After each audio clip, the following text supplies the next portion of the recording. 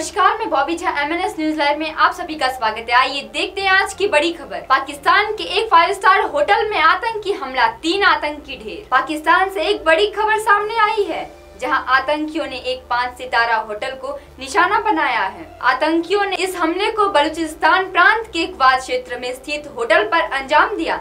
जानकारी के अनुसार इस दौरान आतंकवादियों और सुरक्षा बलों कर्मियों के बीच भीषण गोलीबारी हुई।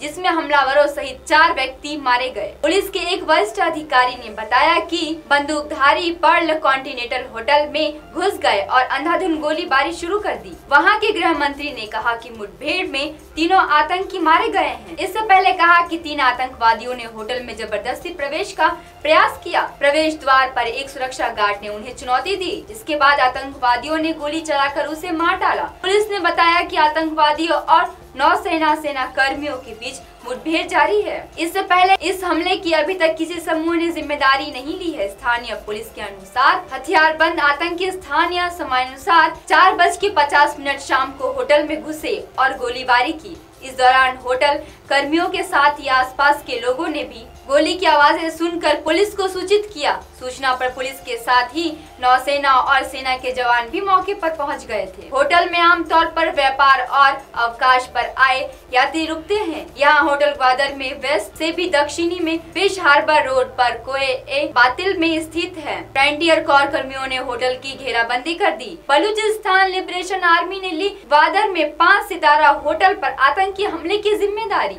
पाकिस्तान के अशांत बलूचिस्तान प्रांत में बंदरगाह शहर ग्वादर स्थित एक पाँच सितारा होटल पर कुछ शस्त्र आतंकवादियों ने शनिवार को हमला कर दिया। वही मीडिया जानकारी के अनुसार आतंकियों ने एक सुरक्षा गार्ड को गोली मार दी, जिससे उसकी मौत हो गई है। सुरक्षा गार्ड आतंकियों को होटल में घुसने से रोकने की कोशिश कर रहा था। हमले की ज़िम्मेदारी बलूचिस्तान लिबरेशन आर्मी ने ली थी। कॉन्टिनेंटल होटल में तीन से चार सशस्त्र आतंकवादियों के घुसने के बाद गोलीबारी जारी है। सूचना के अनुसार मंत्री जहूर बुलेदी के हवाले से कहा कि होटल में रुके सभी विदेशी एवं स्थानीय मेहमानों को सुरक्षित निकाल लिया गया है। तो M N S news live की खबर देखने के लिए आज प्ले स्टोर ऐसी M N S Hindi app download करें और हमारे चैनल को सब्सक्राइब करें। धन्यवाद।